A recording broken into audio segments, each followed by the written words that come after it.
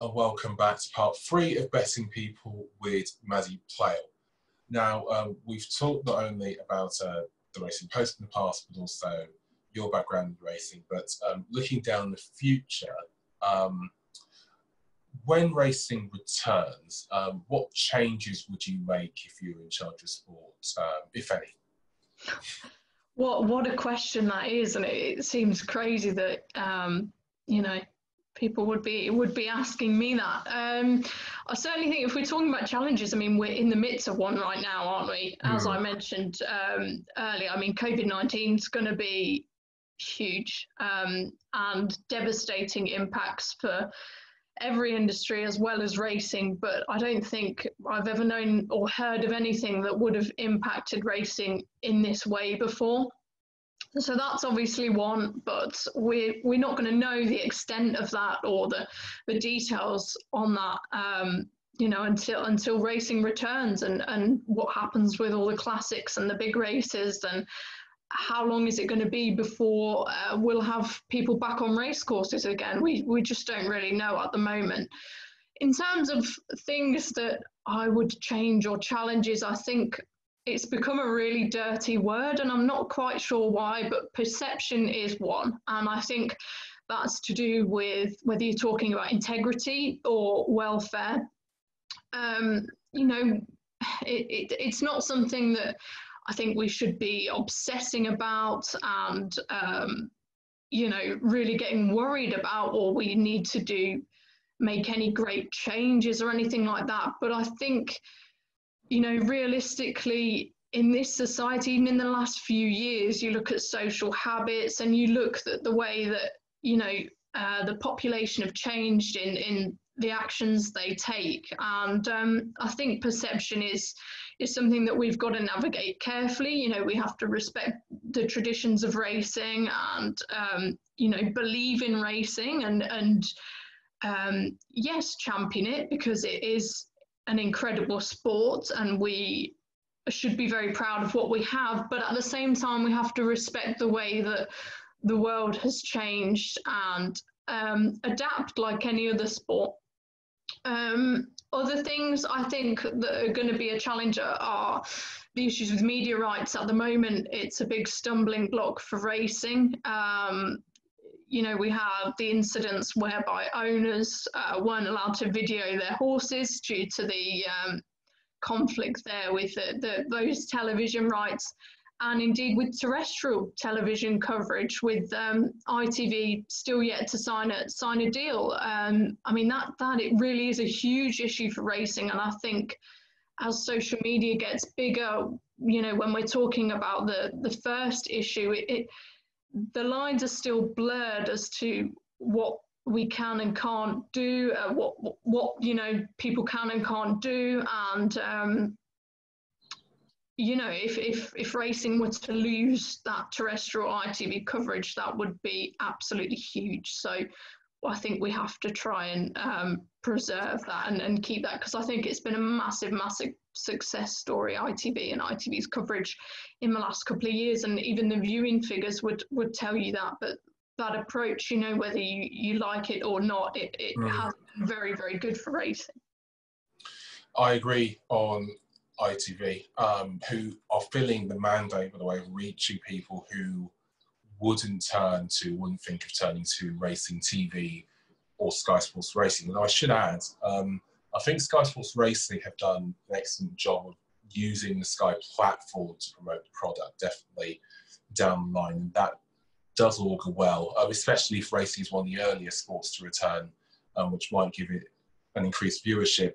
Um, I think in, if, if we just talk about um, ITV, I think what yeah. they've done effectively is there, or at least they're attempting to, and you know, I've spoken with a lot of people at ITV, and I think that they're doing so well and they're so forward thinking and they're constantly wanting to to better the the the, the product is is that they're straddling that line between you know someone who just wants to tune into some sport on a Saturday and the the hardcore racing fan, which is not an easy thing to do. And when you have people like Chris Hughes, who I think is absolutely fantastic for the game, who will get, you know, will raise the profile of racing to a newer audience with with the people that that he's attracting. Um, I think that can only be a good thing. I agree. Actually, I think it is important that racing does work with um, people from not only all other sports, but also people who are public figures. And I think one of the reasons Chris Hughes works so well is because he sort of taps so well into quite a big cultural demographic. So exactly. definitely agreed there. Um, looking forward to on track issues. Uh, now I know we've just had a jump season cut short, but we all know you're a huge jumps aficionado. Are there any horses that our viewers should be looking out for when things return next season?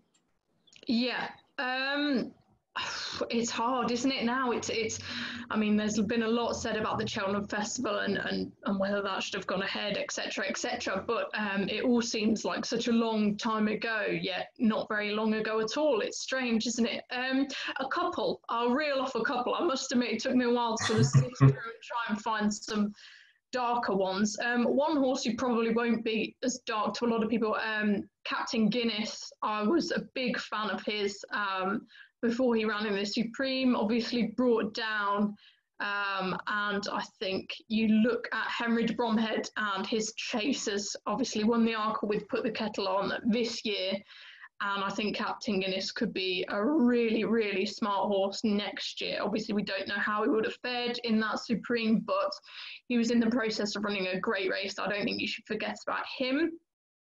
Um, and another horse from the Supreme that I like, who might have just gone under the radar a little bit, and he did finish and he ran a very good race, and that's Allart. Um, Nicky Henderson obviously had any number of promising novice hurdlers last season, but this one, I think, because he went round some of the smaller tracks, think Ludlow and Doncaster, winning small field novice hurdles, some people might have missed him a little bit. Um, but he ran a cracking race at Cheltenham, um, and I think he's very much one that will do better um, as he gets older and as he has time to mature. He was a very green horse early on last season. He's already proved that he's improved a lot from that. Uh, another novice hurdler. Again, I'm someone who tends to think long term. I'll, I'll see a novice hurdler and I'll think, that'll be a, a, really nice staying chaser in a couple of years. And one of those um, is Kepagge. Uh, David Pipe uh, trains him. Uh, I think we last saw him winning a novice hurdle at Doncaster again, and um, soft ground is his forte. He's a really strong stayer, really likable horse. Again, was very green in the early stages of his career, and I can see him being a sort of Welsh Grand National horse a couple of years down the line. So he's one to keep an eye on. Wonderful. We'll definitely put all those in the notebook. And as a curveball, um, let's hope we get some flat racing soon. Any horses you're looking forward to um, this coming summer on level? It's tough, isn't it? I feel so uh, removed from all that at the moment with everything that's going on at the minute. Racing sort of pales into into insignificance when we're talking about the bigger picture. But the same as everyone else, really. Um, I tell you what, I was quite interested to see what Trueshan could achieve. Um, Alan King's horse. He made a brilliant impression in a couple of races last year. I think that form with the likes of First in Line and um, Hamish was it? I think that was really strong form. So um, yeah, if we ever get to see him out again, I think he was touted as a as a possible triumph contender at one point last year, uh, last season, last jump season. But um, yeah, he's certainly very capable. So I'll be looking out for him. Wonderful. And speaking of horses, we all know this horse is very, very special to you, very close to your heart. So please do tell us about your love affair with the mighty Thistlecrack. Yeah, I mean, it's, it's quite straightforward, really. I think, um, you know, everyone has the different horses that they latch onto when they first get into racing, and there were a couple um, for me. Um, but Thistlecrack was probably the first horse that I had a proper, proper love for, and mostly it was just because of the the, the timing and, and how it worked out. To be honest, um, I mean, when he first came onto the scene, that was when I, I think I learned to drive. So I was suddenly going racing a lot more, and I've met a lot more people in racing. and I was beginning to really sort of feel like um, a part of the community. And um, I, I don't know what it was, to be honest with you. I think he was the sort of star horse at that time, and I was just in awe of his sort of power and the way he would beat horses over hurdles, and he just made it look so easy. He seemed to have a lot of charisma when he did it, um, and I I just loved the story. To be honest, that you know Colin Tizzard, he wasn't he had cue card, but before that, we all know that his sort of origins are quite romantic, and um, everyone knows now that I love a Colin Tizzard horse. I just love the the sort of horses that he tends to buy and be associated with, but Thistlecrack was just an outstanding racehorse and he kept winning and he kept doing it in devastating fashion at a time when I was just starting to break into the sport and just starting to fall in love with it, I suppose. And he just, um, you know, even now, if I replay one of his wins, it just makes me feel like um, the luckiest person alive to work in racing, to be honest with you. I, I still do consider myself very, very lucky that I've managed to get these opportunities. And, you know, I'm, I'm 22 and hopefully there'll be um, a couple more. Uh, fantastic. Thank you for telling us about your love for the mighty machine that is Thistlecrack. Um, last question to end on if you could have dinner with anybody in racing, who would it be? Okay, um, tough one. Lots, lots of people to choose from. Um, do you know what? I, I, and again, this is by way of, of, of, plug as well, but that's not totally intentional. But what I would say is um, we had an interview on racingpost.com the other day. Um, Lee Mottershead did it a couple of years ago with Gay Waterhouse, and um, just a brilliant interview and I just read it and thought wouldn't she be incredible to just have a sit down with and, and have a chat to Gay Waterhouse. As you know I'm a great international racing fan, try and keep tabs on racing all over the place. So uh, yeah, I think Gay Waterhouse would have to be top of the list. I think she'd be um, brilliant to just have a conversation with. Fantastic. That's a great answer and a great way to end what has been a great Betting People interview. Maddy Playle, thanks so much for joining us. Thank you, Will.